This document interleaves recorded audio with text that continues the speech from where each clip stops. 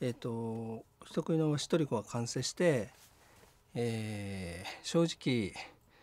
まえー、今のところはまだ客観的に見れないあんまり現実感がない感じですかね自分的にもう終わったって感じがしてなくて、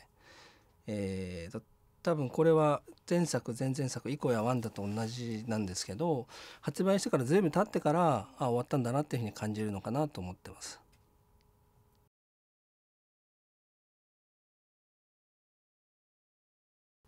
えー、人食いのわしとりこというゲームはえっ、ー、とですねプレイヤーを操作してアクションをやったり、えー、パズルをクリアするっていうのは当然なんですけどあのトリコという存在をこううまく誘導するゲームでもあるんですね。でえっ、ー、と何でしょう例えば、えー、マウスカーソルについてくるようなゲームっていうのはあると思うんですけどそのマウスカーソルが 3D 空間の少年になったような、えー、イメージのゲームを最初作りたくて、えまあ、それこそが、えーと、これまで培ってきたイコとかワンダと巨像をこううまくこう、えーと、ミックスするというかその経験値を持って作り上げることができるんじゃないかなというふうに考えたんで、えー、そういうゲームだっていうふうに受け取られるといいかなっていうふうには考えてますね。で少年だけを操作してとかトリコをうんなんだろうトリコを使うまく使ってどうこうというよりはトリコを、ま、うまく誘導するようなゲームかなというふうには思ってます。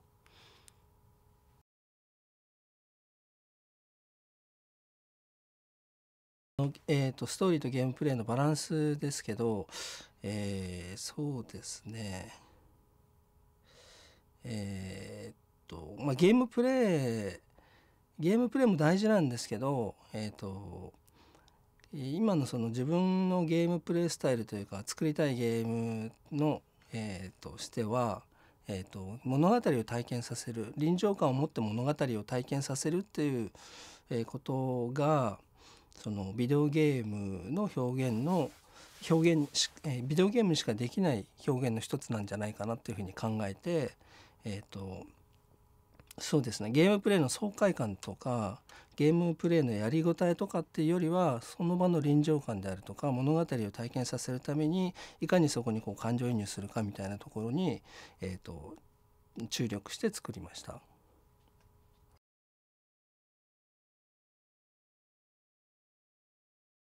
うんと感情移入させる仕組みとしては仕組みというか、うん、演出としては、うんとまあ、そんなに複雑な難しいことはやってないとは思うんですけどこうあまり、えーと、少年と大鷲以外のものに何て言うんですかねあのプレイヤーのこう注目がいかないようにっていうふうに、えーと、考えました。でそれはどういうことかというと,、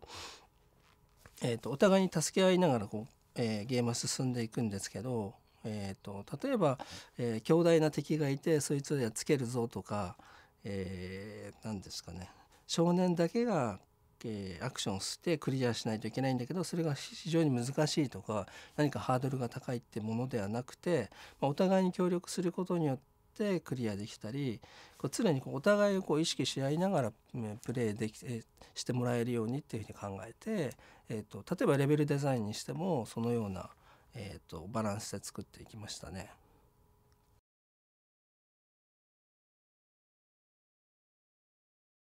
あの2人のキャラクターというかあの少年と大鷲のキャラクターなんですけど、えーと、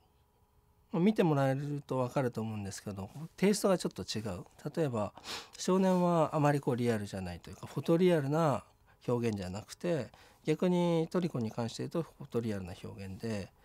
えー、それはうんあくまでプレイヤーにリアルに感じてもらうためにどのぐらいのこう表現にすることで一番リアルに感じてもらえるかっていうふうに考えて、まあ、そういうバランスになったんですけどうんそうですねあのビジュアルに関してはそうですね。でその中身のそのキャラクターとしての性格であったり特徴っていうものは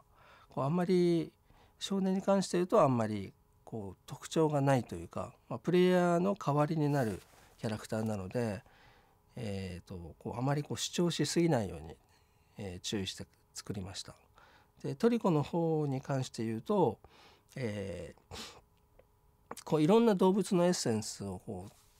入れたくて例えば猫であったり犬であったり鳥であったりとか、まあ、普段、えー、自分たちがこう接しているような動物、うん、ペットであったりとか動物園で見るような動物のこういい部分をこうまずうまくこうミックスすることができないかなっていうふうに考えて作りました。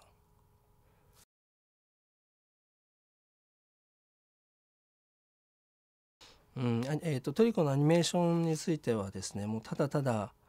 リアルにあのリアルにっていうのはどういうことかっていうと見た目でというかこうなんです不自然なところをもう極力排除していくって作業だったんですけど、まあ、動きの中で一箇所でも不自然なところがあるとその動物としてというか存在としての何て言うんですかねリアリリアリティが損なわれてしまうっていうことで極力そこは不自然なところは排除していくようにしました。でその結果あの今のようなもの今のようなトリコが出来上がっていますね。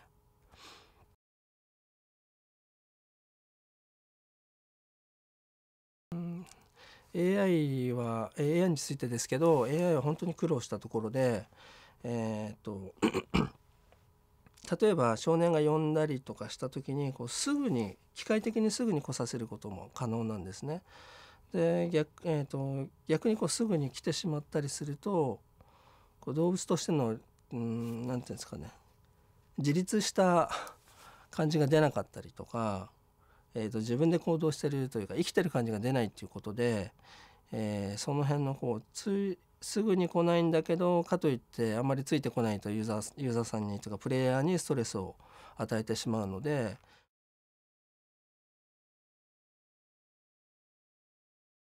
えーと、トリコの名前の由来はですね、えーと、いろいろたくさんの意味があって、えーまあえー、日本語で言うとそのトリトリコになるっていうんですかね魅力的なものを表して、えー、表する言葉としてトリコっていうのがあってでそれもあるしあと鳥鳥っぽい動物っていうこともあって、えー、鳥鳥の子供としてトリコとかあとはまああのダジャレなんですけど、まあ、以降ワンダが2個って言ってプロジェクトネームだったんで、まあ3、3, つ目っていうことで、えー、と3っていう意味のあるそのトライっていうのをかけてトリコっていう、えー、名前になってますね。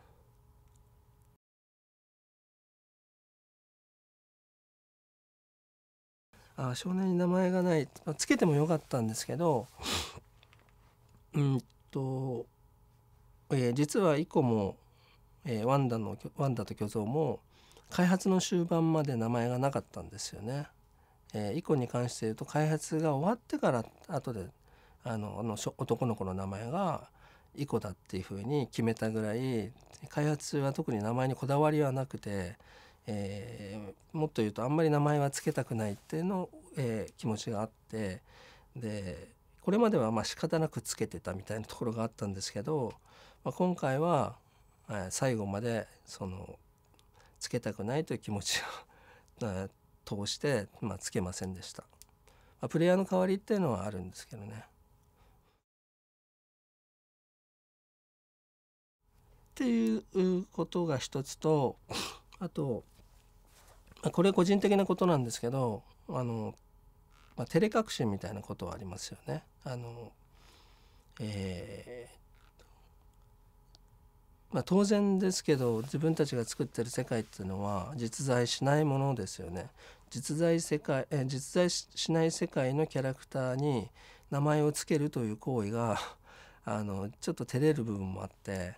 で必要ないのであればつけなくてもいいかなっていう、えー、気持ちがあります。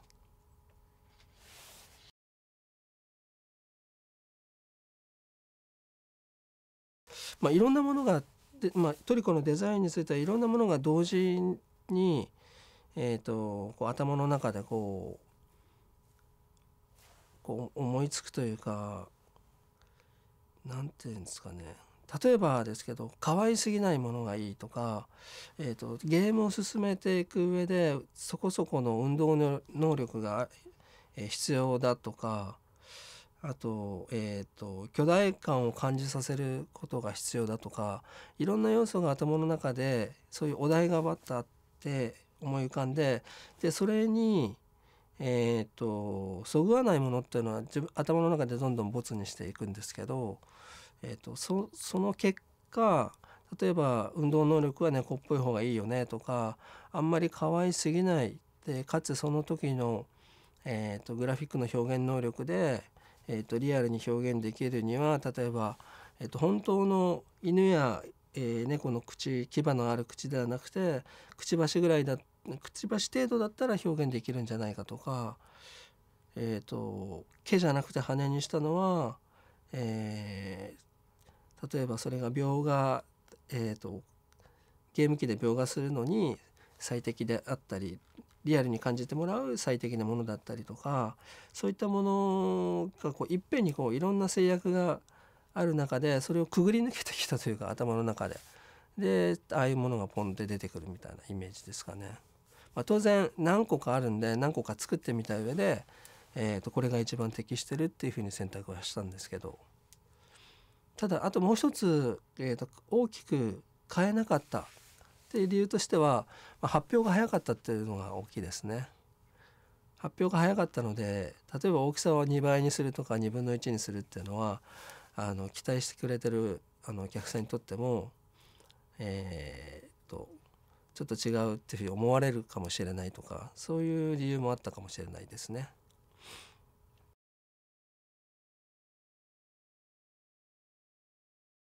そうですねあの小さい小さいキャラクターと大きなキャラクターの組み合わせのゲームであるっていうのは最初から考えてましたね。でそれは、えーと、前作の以降「ワンダと巨像」で培った技術を利用したいっていうのとあとはゲームを作る上でえー、っとですね自分のキャラクター自分プレイヤーのキャラクターとあと NPC が同じぐらいの大きさだと,、えーと、接触した時のリアクションっていうのがリアクションを作るのがものすごく大変なんですね。同じぐらいの自重であればお互いに影響し合うのであの例えば片方がぶつかると片方がよろけないといけないとかでその逆もしかりなのでで片方がすごく大きかったりして質量が高いと片方だけのリアクションで済むっていうそういう理由もありますよね。でそうすることで、えーと、トリコの、えーと、モーションというか動きに関して言うと動きのレスポンスとかというよりはリアリティを追求できる動きの自然さを追求するすることに注力ができるかなと。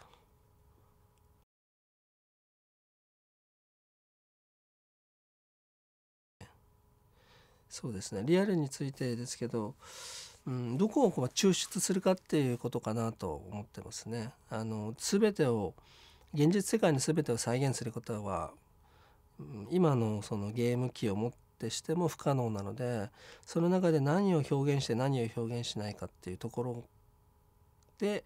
えー、ここは表現しなくてもプレイヤーはリアルに感じてくれるんじゃないかなっていうところはできるだけはしょっていってでここはちゃんと表現しないとリアルに感じてもらえないんじゃないかなってところに、えー、最大限注力するっていうことですかね。でそれをその取捨選択は多分自分のその何て言うんですかねこれまでの、まあ、生きてきた経験の中から選んでるっていうことだと思いますね。で多分自分に似たような人はリアルだっていうふうに感じてくれると思うんですけど、まあ、そうじゃない人は多分そういうふうには感じてくれないのかなというふうに思ってますけどね。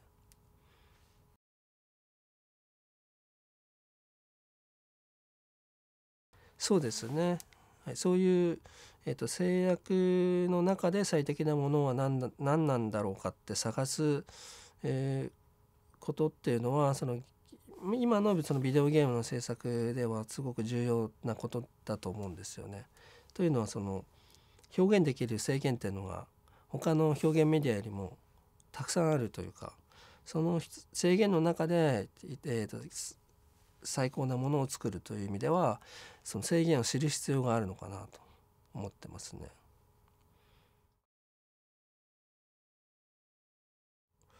作りたいものがものすごいえー、いいものでも表現できなければあの意味がないのでかといって表現するものが容易に表現できて誰にでも表現できるものであればうんそれこそプレイステーションとかで表現する必要はないのでそこそのこううまいバランスのところを探るっていうことかなと思ってますね。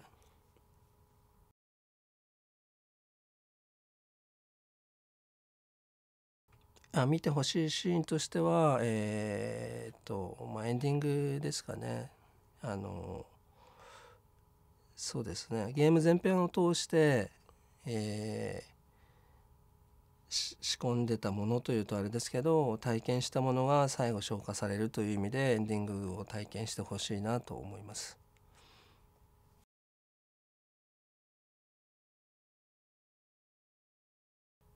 ただ一つですねあのゲームプレイして、えー、もらって、えーと、クリアしてもらって、えーとまあ、トリコというその動物というかあの生物の存在をリアルに感じてほしいなあの動物は本当にいたんだっていうふうにあの感じてほしいなと思ってあの全てを作ってるのでレベルもそうですしキャラクターもそうですしモーションもそうですし、えー、そういうふうに感じてもらえたらいいなっていうふうに思ってます。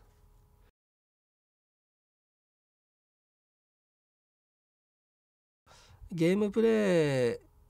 えー、前編を通して、えーとまあ、仕込んでる仕込んでるというかその操作であったり、えーと、トリコとの触れ合いであったりっていうものはそのエンディングに集約してると思うので是非最後までプレイしてほしいなと思ってます。是非最後まで遊んでください。